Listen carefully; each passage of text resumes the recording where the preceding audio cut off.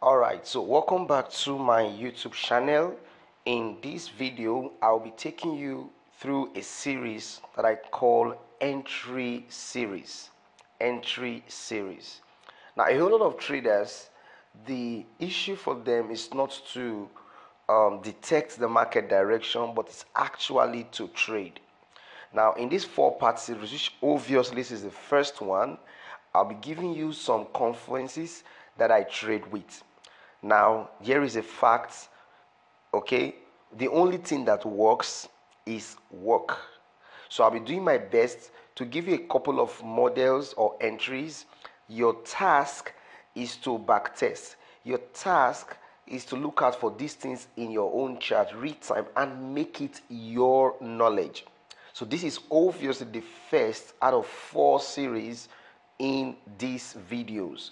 So let's get on with the first one. Now, please note the entry models I'll be talking about in this series are mostly continuations.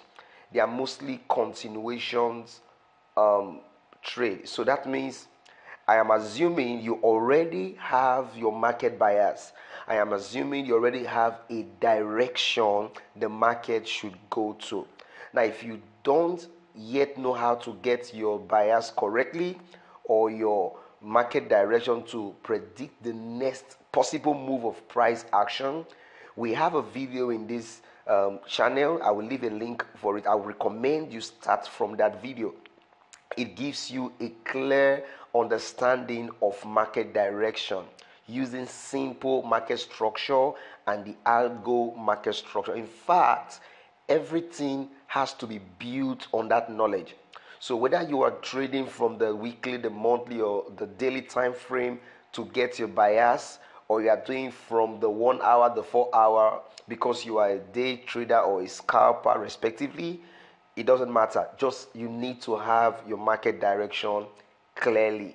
Right. So the first thing after you have known your direction, in fact, I've simplified my trading to this, and just bear with me a little bit to first of all, having known that your psyche has to be worked on, which we'll talk about at the end of this series. The next thing you want to know is to understand your bias or market direction. Then the final thing is to trade your bias, trade the bias. So this is actually the three simple steps of becoming a profitable trader. Obviously, there are more than just meet the eyes, but I have been able to distill trading to these simple steps. Understand the psychology, what it's all about, which we'll talk about in subsequent videos. Know your direction of the market, which is bias, and then finally trade the bias. The easiest way to get out of the market, the easiest way to lose a whole lot of equity so much is to trade opposite the bias. All right, that's important. So let's get on with the first entry model. Again, I am believing you already have a sense of direction with respect to market bias. So the first one is what I refer to, or what ICT will refer to as the breaker block entry model. So the first one we're dealing with today is the breaker, the breaker block entry model. Permits me to use EM for entry model. Now, what are breaker block? In my opinion, this is actually the easiest entry model that you can use to make a whole lot of money from the financial market. So, what is or how can you identify the breaker block and how can you trade with this simple model?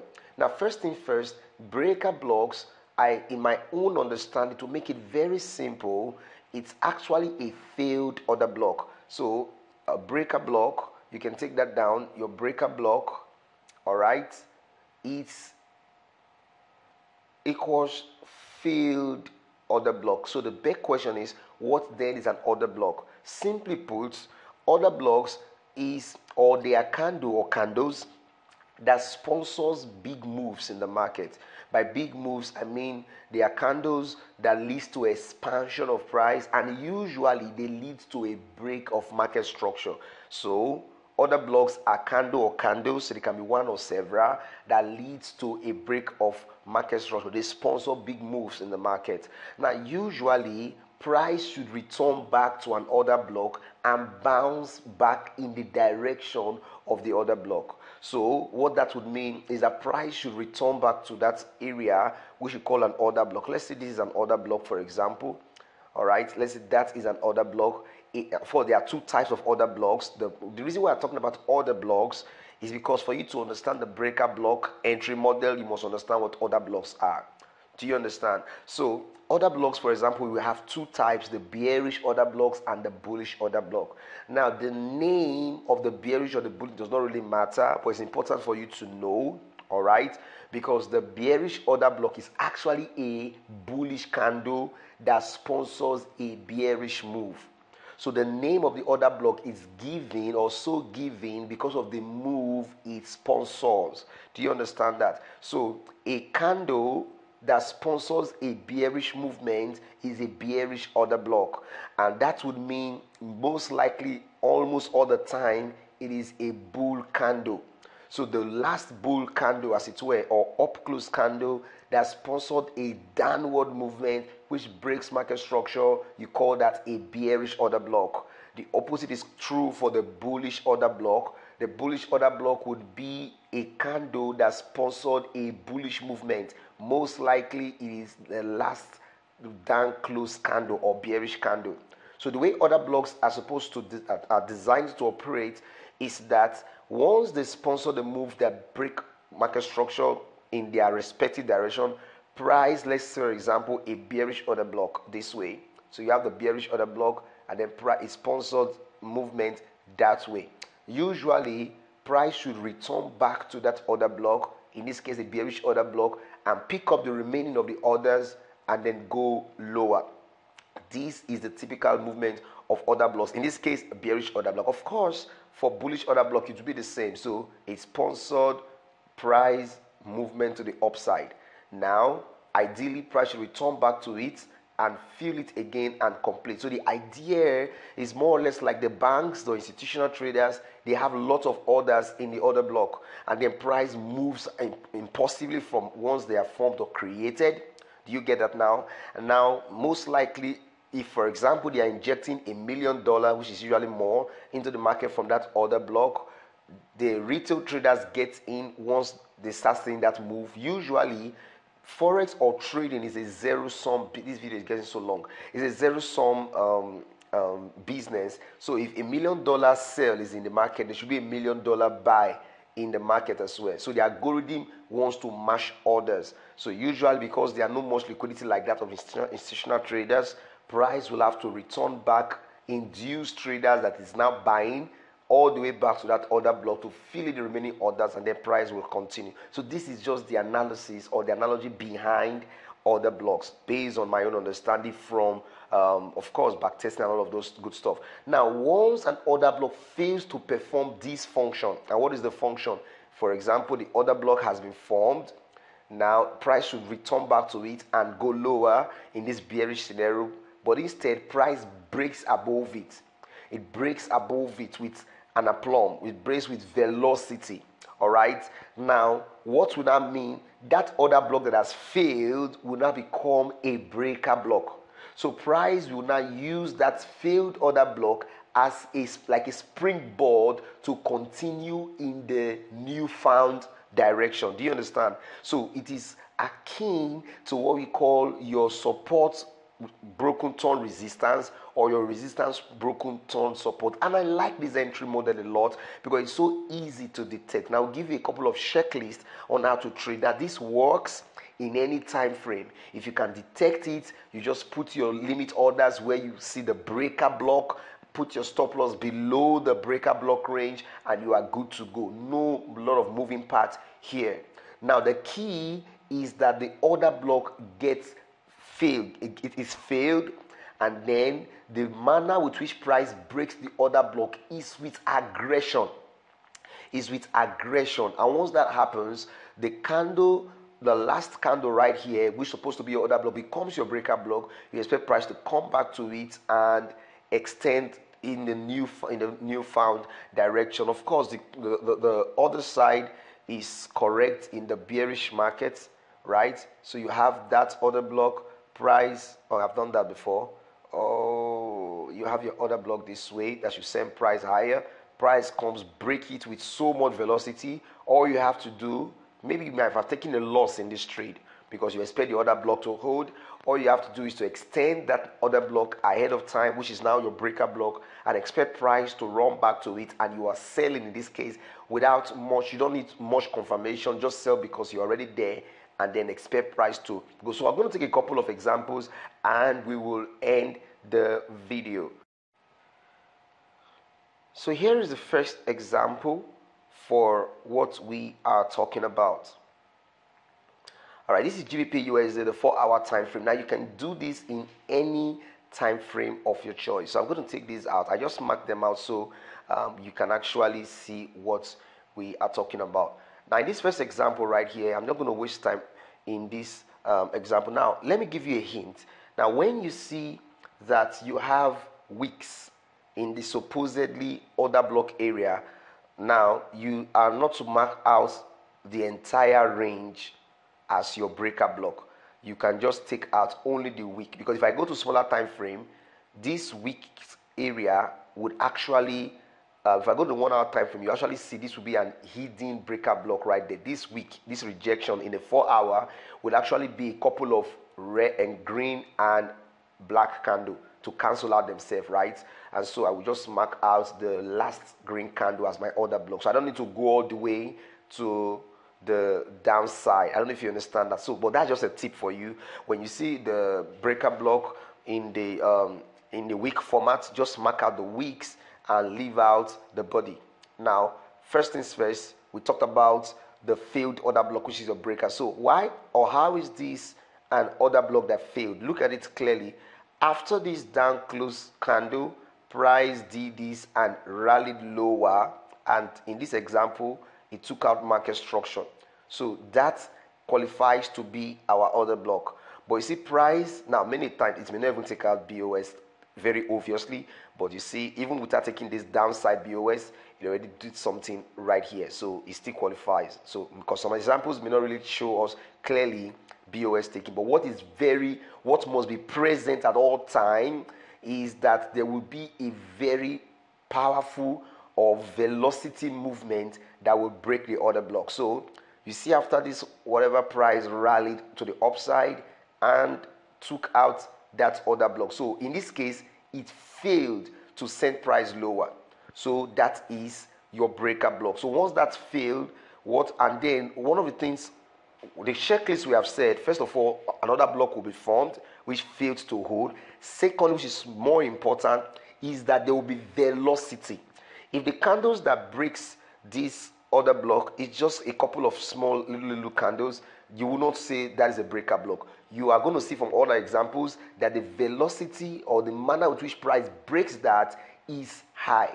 All right, and that is so important to take note. So once that occurs, once that occurs, the next thing you want to do is to mark out your breaker block, which I have told you in this example. You mark out just the wick, all right, and extend in time. Expect price to return back to that, and you are buying. In this particular example, you could have made um, um, immediate uh, you could have made money just trading this return. Look at the first return to the breaker block right there. Returned. So you could have started buying from there.